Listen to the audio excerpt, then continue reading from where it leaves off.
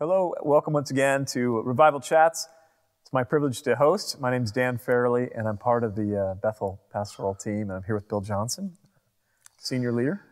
It's good to be together. That's nice. And I like uh, it. yeah, it's another time when we just get folks have sent in questions, and so we might be all over the place. And I hope already so. know there's one that's going to stump you, so the, I can hardly wait. but I'm sure you have every answer for every other question. Yeah, yeah. Um, one of the folks that wrote in said that they've heard uh, you say that when we receive a word, um, that a word we receive from God must be tested. Could you expand on this? How do you test this but not operate in a spirit of opposition to the word of the Lord? In the context of that particular teaching, when I say every word is to be tested, I don't mean that we test it. When, when we have a word from the Lord, that word will be tested. It will be opposed. Uh, Matthew 13, when he talks about, when Jesus taught about the parable of the seed and the sower, which is a cornerstone parable, it affects our understanding of others. Yeah.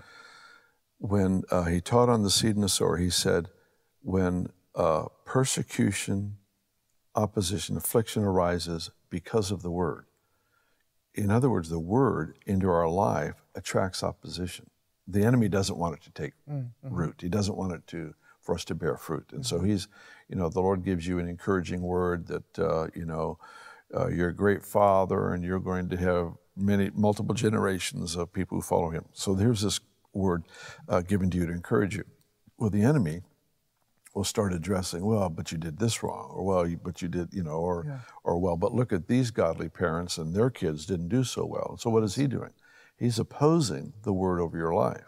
Mm-hmm. And what we have to do is we feed our heart on what God has said, not on what He hasn't said. And what the enemy does is he gives us an option, another option besides what the word of the Lord is. This has no power, the revelation has all power. But if I lend my heart to the powerless word, it undermines the word that has power. If That makes sense. Mm-hmm. So i- it's it's like we're guardians of what God has given us. You know, we're the only ones with the key to the garden of our own heart. Mm-hmm. And so I have to protect what God said. So the word is opposed um, so that we can see the strength of the word. Hmm. But the Lord mercifully allows the enemy to bring up another option because then we get a reward for obe- obedience. There's no reward where there's no options. Hmm.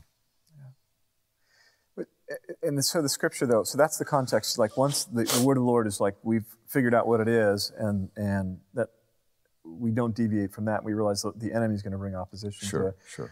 But the scripture passages that say test everything, you know, hold to the good, and then Right, in Corinthians where let one prophet stand and then another prophet, and then Exactly. test if it's the word of the Lord. Exactly. Uh, how does that fit in this context? Is Well, that's that's the process we use to come to realize what is from God. Once we've realized it, we have to we are obligated to hold to that. we're done testing at that point once Exactly. we've once Yeah, we've yeah. identified it and and uh, I'm sure this has happened to you too, where there's certain things that come to you. You know, I, I don't want to sound unbiblical. You don't need to test it. It came so proven that it was from the Lord that you almost are embarrassed to say, you know, please confirm. I, I mean, the way it came, Yeah.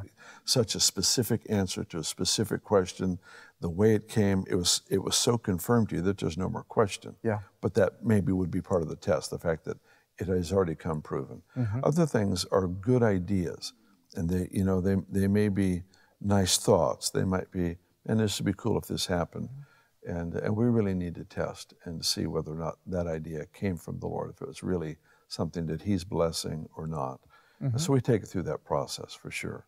But some things come so proven that I, I would feel like an unbeliever to say, "This is really you." Yeah. You know, I, I wish Yeah. it was everything, but Yeah. it's not that way. But but uh, but testing to see if it's from the Lord that's an important process. But once you once you know, don't question from that point on. yeah. It's not that He won't answer. It's just it's not a good way to develop trust. You know. Totally. It, it, it reminds me of the story of Gideon, which is always a, uh, just such an odd story in the sense of you know, the, the guy has an angel come and talk to him. Yeah. and the angel just speaks encouragement over his life, like, Yeah. you know, you're amazing. And then he's like, that's not, that's not enough. Yeah, how do I know this is the Lord? Yeah, I, I was thinking of it too.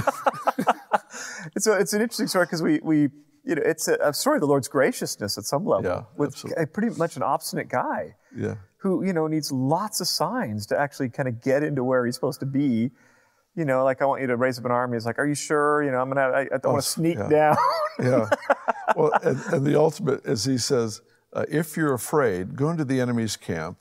yeah, And, and so the next scene he's in the enemy's camp, what tells us he's afraid after all these absolutely. confirmations. Yeah, The Lord sends us to the weirdest places to get encouragement. You know, if an angel showing up isn't going to do it, well, I'll send you to the enemy's camp. absolutely.